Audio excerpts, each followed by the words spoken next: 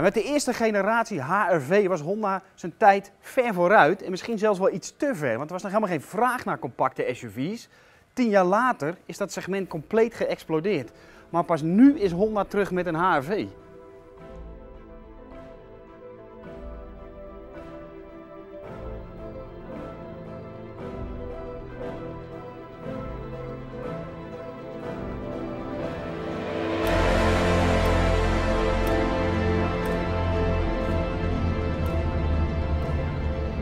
Generatie HRV, dat was eigenlijk gewoon een heel leuk ding.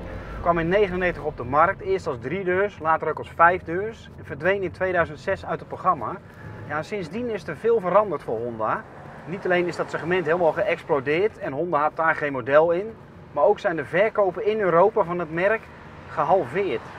Maar met de HRV en ook de nieuwe Jazz, twee compleet nieuwe auto's op een nieuw platform, moet daar verandering in komen. Dan moeten die verkopen in Europa echt weer omhoog gaan. Het segment van de compacte crossover of de compacte SUV, het is maar net hoe je het wil noemen, dat blijft maar groeien in Europa. En die HRV die bevindt zich echt een beetje in de bovenzijde van dat segment. Hij gaat concurreren met een Opel Mokka, een Mazda CX-3 bijvoorbeeld. Maar door zijn afmetingen kan die ook de concurrentie aan met een Nissan Qashqai uit een hogere klasse. Als het aanbod groot is, dan moet je iets doen om op te vallen. En dat probeert Honda door de HRV een coupé-achtige lijn te geven.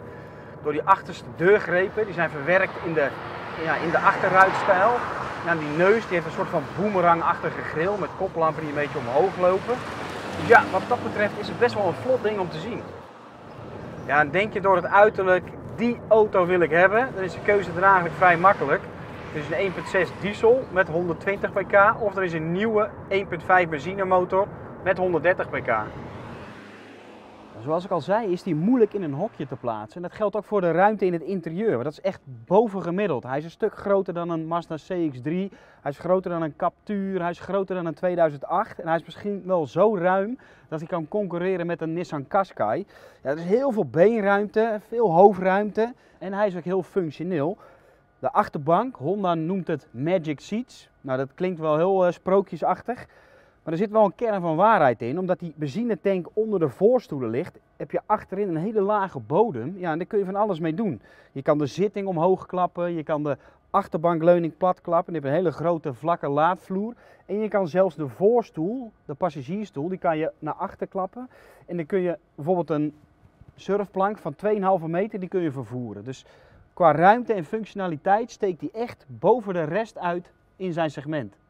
Maar ook met de achterbank overeind, als je bijvoorbeeld met vijf man op pad wil, heb je meer dan genoeg bagageruimte. 470 liter.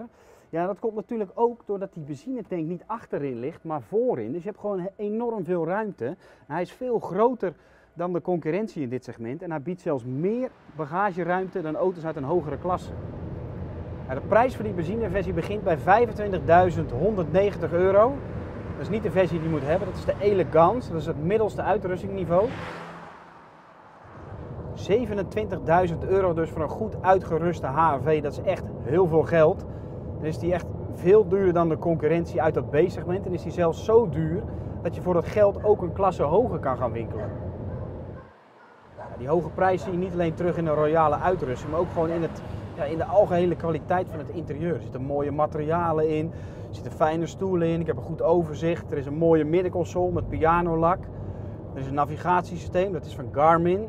Dat werkt op zich goed, maar het systeem in een Mazda CX-3, die, dat bedien je met een draaiknop op de middentunnel. Ja, dat heeft toch de voorkeur boven dit. Hier moet je alles met tiptoetsen doen. Ja, dat lijkt toch gewoon een beetje af onder het rijden. Maar al met al is de kwaliteitsbeleving in het interieur bovengemiddeld voor dit segment. Ja, we rijden nu in de 1.5 benzine met 130 pk, gekoppeld aan een handgeschakelde zesbak.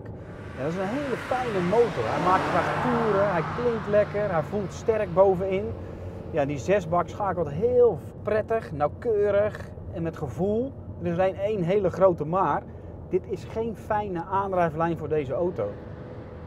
Het grote probleem is namelijk dat die motor pas bij 4500 toeren per minuut zijn maximum koppel levert. Je moet dus veel toeren maken, dan produceert hij veel geluid en je moet veel schakelen.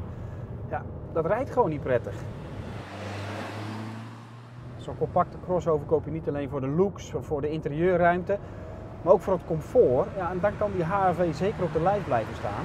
Hij is heel soepel geveerd met van die lange veerwegen. Hij is mooi gedempt. Ja, het is gewoon echt een comfortabele auto. Alleen die achteras die is soms wat stoterig op korte oneffenheden. Maar voor de rest echt super comfortabel.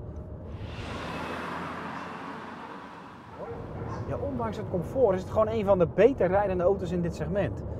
Dat komt door die besturing, die zit zelfs een beetje gevoel in en die is mooi bekrachtigd. Dus hij voelt altijd hetzelfde. Ja, en de carrosseriecontrole is heel goed. Dus wat dat betreft is die HRV echt een van de beter rijdende auto's in dit segment. Vanaf 18 september staat hij bij de Honda dealers en die hebben toch wel wat uit te leggen. Ja, het is een ruime, functionele, goed rijdende crossover, maar in welk hokje moet je hem nou plaatsen? Hij is te duur voor het B-segment en hij is eigenlijk te klein voor het C-segment. Ja, als ze dat goed kunnen uitleggen, dan kan het wel wat worden met deze HRV.